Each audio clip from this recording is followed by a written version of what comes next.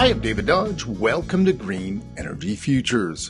What if we could tie together dozens, hundreds, or thousands of solar systems, energy storage systems, and perhaps even EVs into a connected network that would respond quickly to satisfy peak electricity grid demand and avoid brownouts?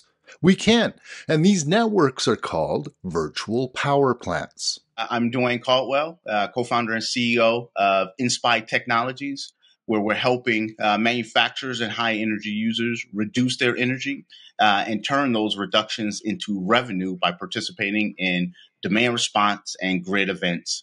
Dwayne Caldwell had a solar business, and three years ago he decided to start ENSPI to help companies save money on energy and network them together as a virtual power plant.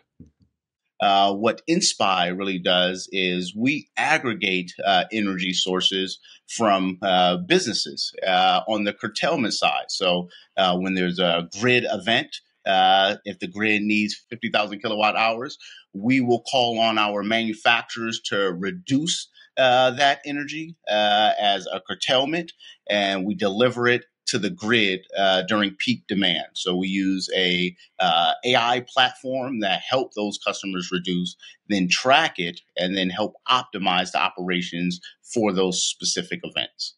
It all starts with an analysis of a company's energy use, monitoring of their energy use, and an inventory of their energy generation and storage resources. Uh, ultimately, our goal is a 20 to 30% reduction uh, in uh, consumption for our customers. Uh, and depending if you have uh, energy assets on site, generator storage, uh, you can see upwards of about 50,000 for the, the smaller manufacturers a year in participation into the market.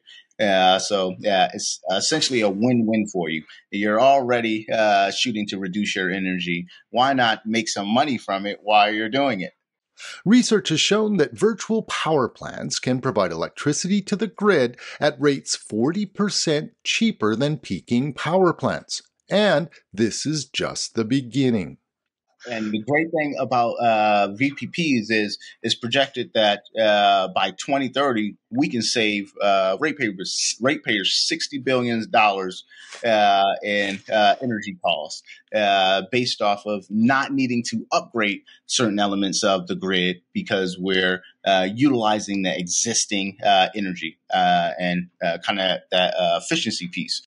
As hundreds of thousands of solar systems, battery systems, and EVs are added to the grid, the ability to manage these distributed systems is essential. But you can't just do this anywhere. You need policies that support aggregators like ENSPI, deregulated markets, and things like time of use pricing.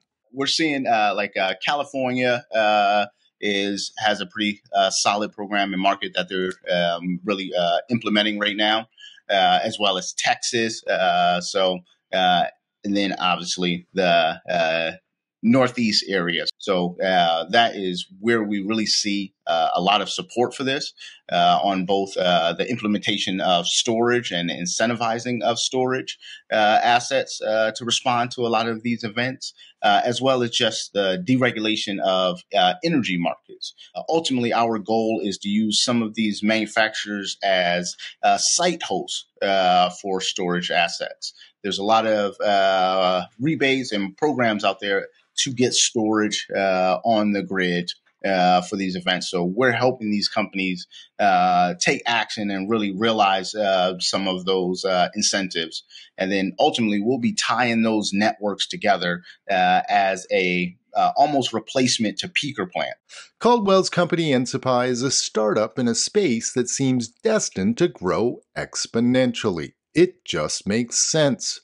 The companies he works with save energy and even make money by managing and aggregating their energy assets through ENSPI's virtual power plant. Subscribe to our podcast at greenenergyfutures.ca. For Green Energy Futures, I'm David Dodge.